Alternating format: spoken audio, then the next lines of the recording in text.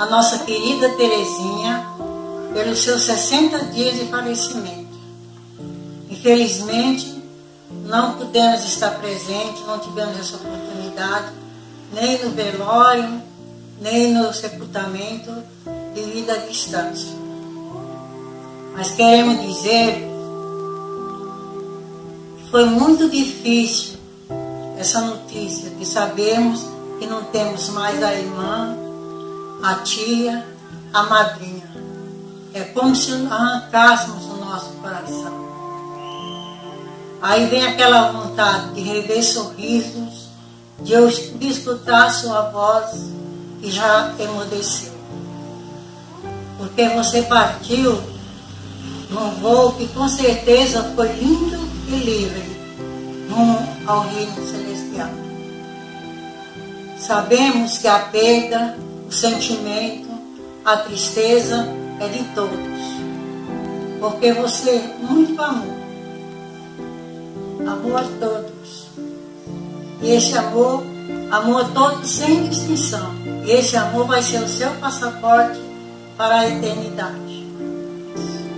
Que Jesus guie os seus passos, dirija, que você em breve tenha um lindo encontro com os nossos entes amados partiram antes.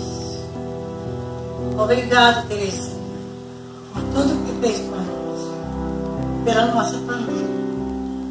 Que Deus te abençoe e com certeza vai receber isso triplicado.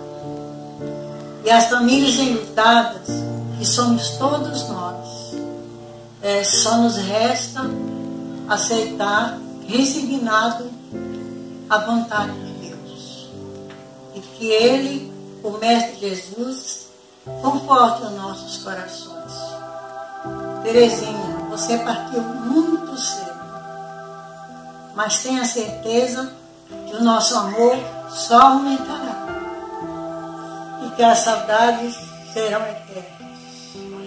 Pai nosso que estás no céu, santificado seja o vosso nome. Venha a nós o vosso reino, seja feita a vossa vontade, assim na terra como no céu. O pão nosso de cada dia nos dai hoje. Perdoai as nossas ofensas, assim como nós perdoamos a quem nos tem ofendido. E não nos deixeis cair em tentação, mas livrai-nos de todo mal. Todo mal. Amém. Pois teu é o reino, o poder e a glória para sempre.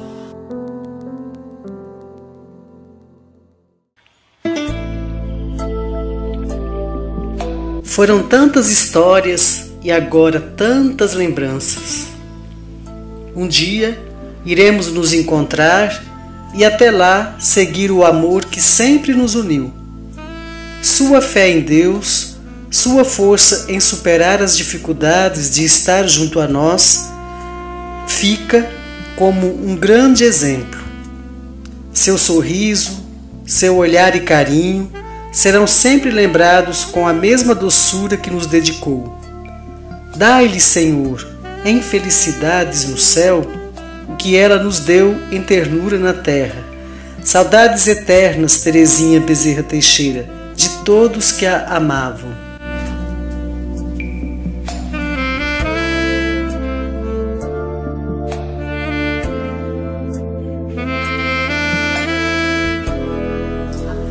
Palmas para Terezinha.